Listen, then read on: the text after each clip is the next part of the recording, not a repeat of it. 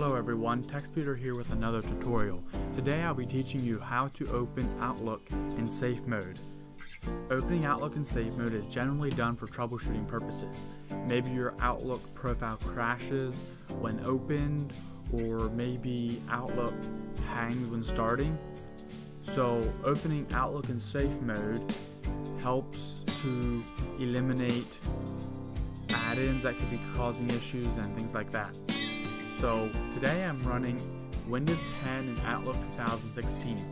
I'll be showing you two ways to open Outlook in safe mode. The first way is the easiest in my opinion, but I'll also list a second method just in case you can't get the first way to work.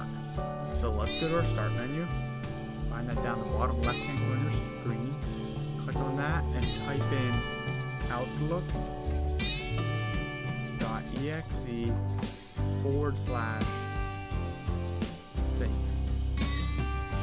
Enter, and you will see a prompt to select your Outlook profile. Most times you will just select OK unless you previously created a profile. So in my case here, I have another profile that I'm actually using, so I'm going to select Outlook.com profile, hit OK, but typically you'll just select Outlook unless you know you have a different profile.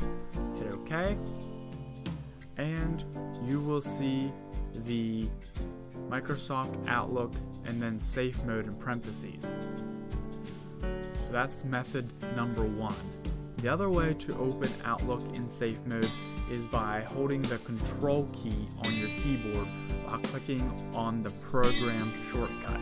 For example, if we have Outlook pinned to our desktop, we can hold down the control key on the keyboard and double click on the icon on the desktop and we should see a pop-up shortly asking whether we want to start in safe mode or not. It says, you're holding down the control key. Do you want to start Outlook in safe mode?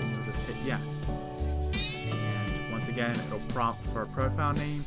Just select the profile that you want and then hit OK.